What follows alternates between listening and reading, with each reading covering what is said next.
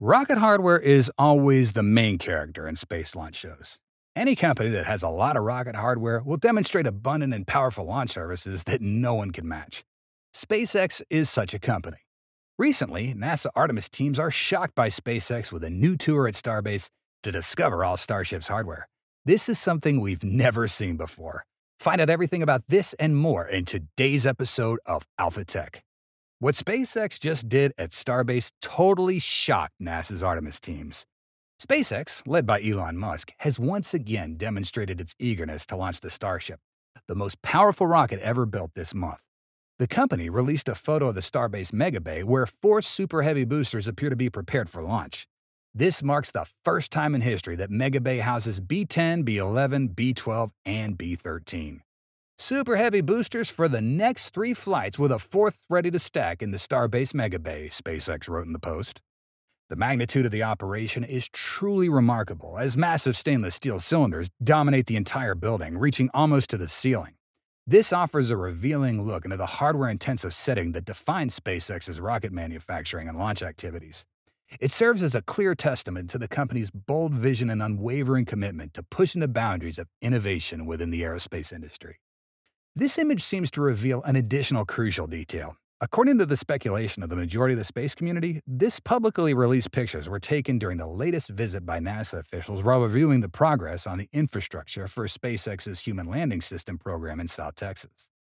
Earlier on February 2nd, Lisa Watson Morgan, the program manager of NASA's Human Landing System, mentioned on LinkedIn and expressed her joy about the excellent results of her trip had a fantastic trip to South Texas to see remarkable progress on infrastructure for SpaceX in relation to the Human Landing System program, part of the overall Artemis enterprise, returning humans to the moon. In attendance were the leadership of Headquarters Exploration Systems and Moon to Mars. Significant progress in six months was the high point, in addition to seeing the functioning life support mock up for future lunar missions. This has demonstrated a positive outlook from the leadership of the United States Space Agency. If you are someone who regularly follows space news, it's not strange that NASA always reports delays in the Artemis program, and the factor causing this delay is SpaceX's Starship program. However, with Lisa Watson Morgan's remarks during the trip, everything seems very positive, especially the development of new tests for the life support module, a crucial aspect of the return to the moon. Six months ago, a nose cone labeled HLS appeared at Starbase. Not only was it painted the characteristic white for HLS spacecraft prototypes, but it also featured an entry window along with complex electronic devices beneath. There were numerous speculations about subsequent tests for this model shortly after, but SpaceX's actions were discreet, making it challenging to track. Nevertheless, with this latest disclosure, we can now be confident that SpaceX's tests with the HLS model have been remarkably successful. It was an unexpected development. In addition to that, the speed of construction for the new tower on the site and the transportation of four tower segments from Florida to Texas are also pretty noteworthy. This marks perhaps the largest transport of tower segments since SpaceX's November efforts, demonstrating accelerated efforts in constructing the second launch tower at Starbase. It'd be no surprise if this launch tower could be completed by the end of this year, and it might even be operational as we enter the new year. The one thing that I really appreciate about SpaceX is they want to move fast at all costs until they get to the crew mission, said Lisa Watson Morgan. SpaceX is not only accelerating the construction of the launch tower, but is also swiftly progressing with a model that's hardware rich, with multiple Starship and Super Heavy rockets in preparation for launch in South Texas. This contrasts with NASA's traditional rocket development approach. SpaceX prioritizes rapid iteration and testing throughout extended design phases. Instead of investing significant time in perfecting a single prototype, they construct multiple versions and subject them to various tests. This iterative process allows them to create the best possible design, rigorously testing it, even to the point of failure, and then iterating based on collected data. It's always better to sacrifice hardware rather than sacrifice time, Musk said. Time is the one true currency, the fastest path to a rapidly reusable, reliable rocket. This means SpaceX is poised to launch Starship a lot. They have told us maybe up to 10 flight tests this year, only one of which is a milestone on our contract, Watson Morgan said. As part of NASA's program to return humans to the moon, NASA officials are increasingly closely monitoring SpaceX's progress on Starship in the upcoming launch. An important milestone for NASA's Artemis program this year involves a demonstration of propellant transfer between spacecraft. In this scenario, Two Starship vehicles will rendezvous in orbit to showcase SpaceX's capability to transfer hundreds of gallons of superchill propellant from one vehicle to another.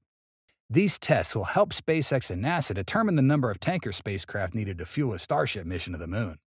Starship will come in various configurations, such as lunar landers, tanker spacecraft, fuel storage modules, and satellite deployment vehicles. However, all will share the same fundamental design, featuring Raptor engines and a stainless steel structure. Terms in NASA's Starship lunar lander contract mandate SpaceX to use two Super Heavy boosters, four tanker starships, and one storage starship, along with one lunar lander starship for each Artemis launch campaign. According to Watson Morgan, SpaceX will also manufacture a backup Super Heavy booster and two backup tanker starships to support each Artemis mission. SpaceX plans to deploy reusable Super Heavy boosters and tanker starships into orbit to conduct a series of launches, refilling the Starship propellant depot in space. The company will demonstrate all these capabilities with an uncrewed Starship landing test before Artemis 3. SpaceX will need at least two operational Starship launch pads to accomplish this. We're doing an uncrewed demo, and they have to prove out their landing, and they go back up, and we may potentially have a re-landing, Watson Morgan said. Before we take a crew on there, they're going to have to successfully autonomously land this vehicle on the moon. Once Starship gets to the moon, the NASA astronauts will ride an elevator from their cabin near the top of the vehicle towering some 164 feet 50 meters above the ground, down to the lunar surface. NASA astronauts recently participated in a test of prototype Starship elevator. We got a lot of work to do on that elevator, but we'll get there, Watson Morgan said. Landing such a tall spacecraft at a potentially uneven touchdown site near the moon's south pole has also raised questions about stability. Could Starship tip over? Watson Morgan said this is definitely one of the issues that we're concerned about regarding Starship, but she added there's good reason to have confidence in the design. Starship's stability during landing is influenced by its center of gravity, determined by the amount of propellant used in the journey to the moon and the final descent to the surface. Additionally, the landing legs of Starship possess the capability to articulate and adjust for uneven terrain. Musk mentioned that SpaceX is working on enhanced Starship versions, referred to as version 2 and version 3, designed for improved performance and endurance. Notably, Starship version 3 will feature increased height, stretching the world's largest rocket from its current 121 meters to 140 meters or beyond. According to Musk, the enhancements may potentially double Starship's payload lift capacity, increasing it from around 100 metric tons to over 200 metric tons per flight. SpaceX's primary intentions for Starship's operational use appear to revolve around deploying Starlink satellites and facilitating lunar missions for NASA. In order for the Artemis program to succeed, we must succeed with Starship, Elon Musk said. That's all for today's episode. We hope you enjoyed it and learned something new. Please let us know what you think in the comments section below. Your feedback is very important to us and helps make better videos for you to watch. Thank you so much for watching, and we'll see you next time.